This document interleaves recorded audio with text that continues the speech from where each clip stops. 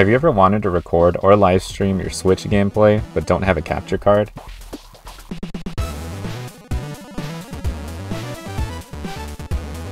Or maybe you want a way to use the video capture feature in games that don't support it. Then this is the guide for you. Hello folks, Manito here, hope you're doing good. In this video, I'll be showing you how to set up and use SysDVR, made by Exelix11. SysDVR is a sys module that captures Switch gameplay and outputs it to a PC via USB or network connection. No capture card required. If you wanted to record your gameplay or live stream it but don't have a capture card, this is a cost-efficient way to do so. Here's a few things to take note of. First, can you get banned from using this? Well, so far no one has been banned by using SysDVR on its own. I have personally used SysDVR off and on for the past few years, and my Switch is still not banned. Yet. Remember, you're doing this at your own risk, and if you get banned, that's on you. Also, on its own, SysDVR only works with games that support the video capture feature. However, there is a workaround to this. I'll explain a bit later. Another thing about SysDVR is that it currently does not record the home menu or anything that is not a game. Next, in this tutorial, and in all of my other tutorials, unless stated otherwise, I'll be using a Windows PC for the computer sections. You can still follow along if you're using something else like Mac or Linux, but steps will be different. And with that, let's get to the tutorial. You'll need a moddable switch running Atmosphere custom firmware. Click the first tutorial link in the description, it will take you to my Atmosphere custom firmware setup tutorial. If you've not followed that guide yet, or don't already have your Switch set up with Atmosphere, pause this video, go watch that one, then come back here. If the video is unavailable, the link will be replaced with a text tutorial. The next thing you'll need is a program capable of opening and extracting 7-zip compressed folders. File Explorer ain't gonna cut it. 7-zip is what I use to open and extract these. It's a free program that I recommend getting if you don't already have it. I'll provide a link in the description. 7-zip is available on Windows, Mac, and Linux operating systems. On the download page, you'll see different versions, and you'll need to download the version that matches your system. If you have a 32-bit system, get the 32-bit download. If you have a 64-bit system, get the 64-bit download. If using a Windows computer, the quickest way to check which system you have is by pressing the Windows key, typing System, and pressing Enter. You should see what your computer is under System Type. The next thing, while not required, is highly recommended, and that is SysFTPD Lite. It allows you to send files to and from your Switch wirelessly. If you would prefer to stay in Atmosphere and not have to remove your SD card and inject the payload again, whenever you want to add more homebrew or mods, this is something you should get. I have a tutorial on setting it up, which I will link in the info card and description. And that's all you'll need before starting this tutorial. Before we get started, make sure to click that subscribe button and the notification bell to stay notified of future videos and to support the channel. I also have a community Discord server where you can join to talk with me and other members of the community, or if you need help with mod stuff. With that out of the way, let's get to the tutorial. We'll be following the GitHub guide for the setup of SysDVR, link in the description.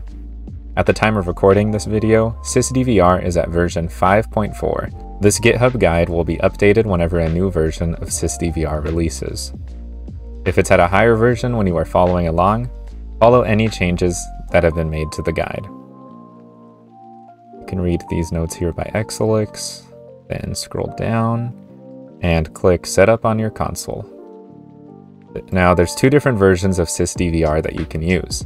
There's the full version, which is just sysdvr.zip, which allows you to stream via USB or network connection and includes a homebrew app to switch between them. And there's sysdvr USB only.zip, which will allow you to stream via USB only, and it uses less memory, which should help it run alongside multiple sys modules. So if you're using multiple and you experience a lot of crashes with SysDVR, use the USB only one. As it says here, you should use the full version, regardless of how you want to stream. In this video, that's what I'll be using.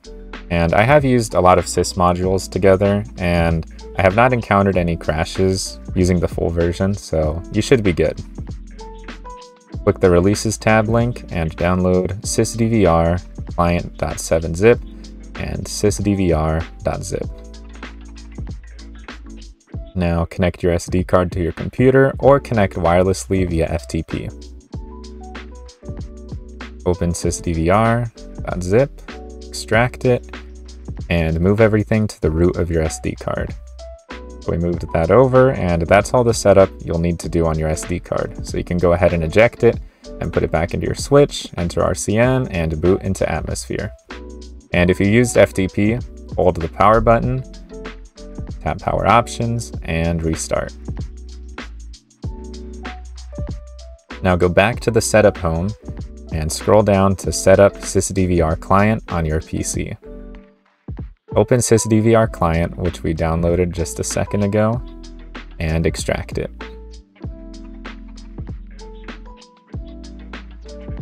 Gonna just make a SysDVR folder on my desktop and yeah, that's where I'm moving everything to. Okay. I'll be following the Windows setup for this video. If you aren't using Windows, there are options for Linux and Mac OS setup. Download and install the latest .NET. Make sure to get the 64-bit version as it says here.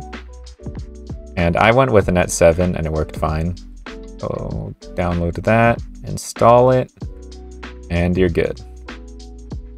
This next part is not always needed, as it says here, but I got it just in case I would end up needing it, so you might as well install it.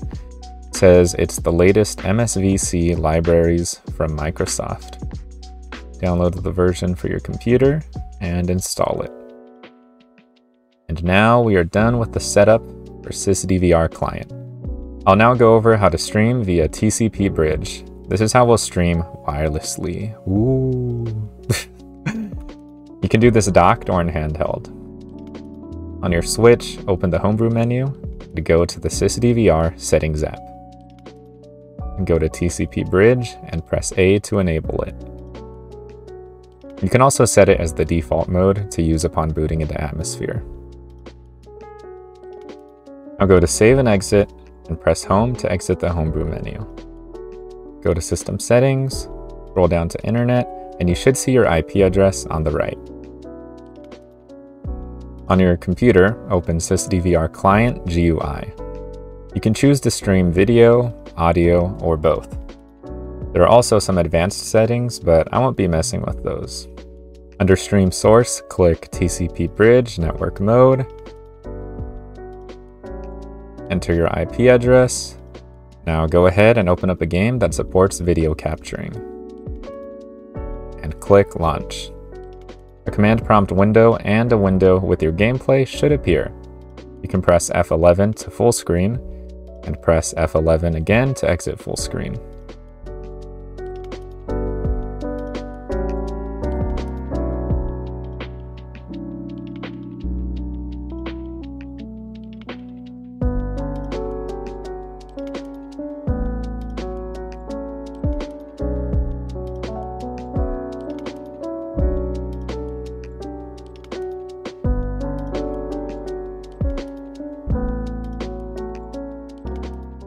When you're done using SysDVR client, you can just press escape and then close the command prompt window.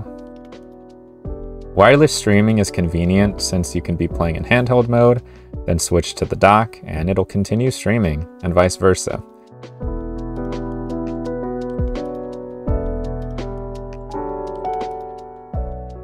This is also the only way to capture docked gameplay via SysDVR. You cannot use USB mode and capture docked gameplay. only do it through wireless streaming. And the only downside to wireless streaming is that if you have a bad connection, your stream may not run too well. And this brings us to the next method of streaming, USB streaming. Close your game and go to the Homebrew menu. Go to USB, press A, and press Save and Exit. Press Home and open up a game. Plug your switch into your computer via USB cable and open SysDVR Client GUI. Select USB and press launch. It'll let you know that you haven't installed the USB driver. Press yes to install it now, and it can take a few minutes to finish, so just give it some time, you know, go get a cup of water or something. And now the driver is installed successfully. Unplug the USB and plug it back into the console for the changes to take effect. Now you should have your stream running once you press launch stream. There we go. Nice. As I mentioned earlier, SysDVR only works with games that support the video capture feature. However, there is a workaround to this. DVR Patches, which is also by Exelix11, patches nearly every Switch game to support the video capture feature, which means you can then use it with SysDVR. And you can also just, you know, press the video capture feature when you're not using SysDVR. You can finally clip in games like Smash Bros, you know, get some cool clips, not have to go through the whole replay and, you know, find the cool parts. So it's really useful, really useful. And it's actually really easy to install. So open up the Homebrew menu and go to SysDVR settings. Go to DVR Patches Manager and search for the latest patches on GitHub. Download now, and boom, that's it. That's that's all. That's all it takes to install DVR patches. In order in order to use it, you need to reboot the system, let it reboot, and you're good to go. You now use the video capture feature on nearly every Switch game that did not support it. I know there's a few that don't work too well with it, but for the most part, every game does. Now you may not have noticed this, but the footage might not seem too smooth at times. That's because the game could be running at 60 FPS on the Switch, but SysDVR is capped at 720p 30 FPS. However, there is a way to enable 60 FPS streaming and video capturing. The caveat to this is that it can impact performance in some games.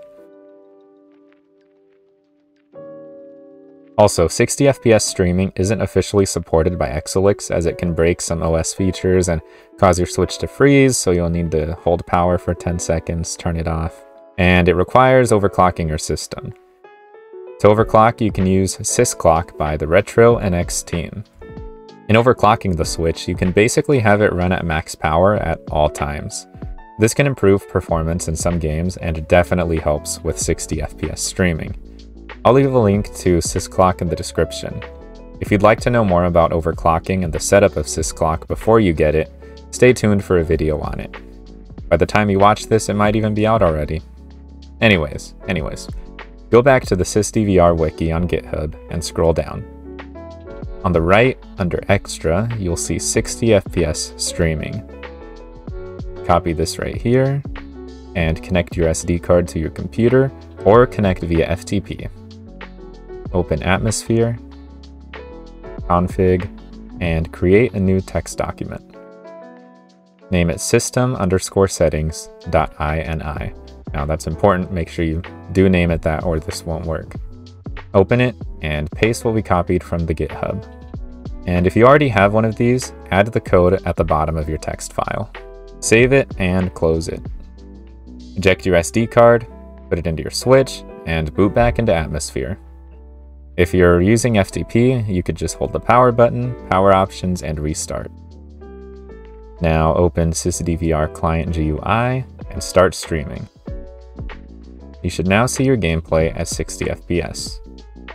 USB streaming is the recommended option for 60 FPS streaming. And I'll leave you guys with a little bit of gameplay showing the difference between 30 frames per second capturing and 60 frames per second capturing.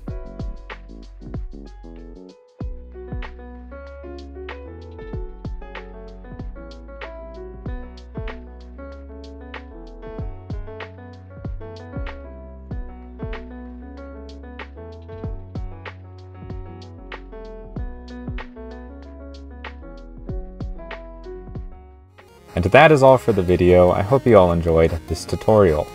On the left, which is my right, so it's a little confusing, you'll see a Switch tutorial playlist. So as you noticed, I use Smash mods in this video. I use uh, wireless file transferring. And go ahead and see how to use that right here in this playlist, along with some other stuff. And uh, up here, you'll see a video that YouTube recommends for you from my channel. And it might be a cringy old one, might be a cringy new one, who knows. But yes, thank you so much for watching. Make sure to leave a like, drop a comment. Let me know what you thought about this. Um, I think it's really interesting because I used to use this before I got a capture card and it helped out with getting into live streaming and all that stuff. So yeah, subscribe for more content and shout out to my channel members. Thank you so much for your support and thank you for watching until the end. Have a good day, good night, whatever time you're watching this, and God bless. See ya. Praying for you.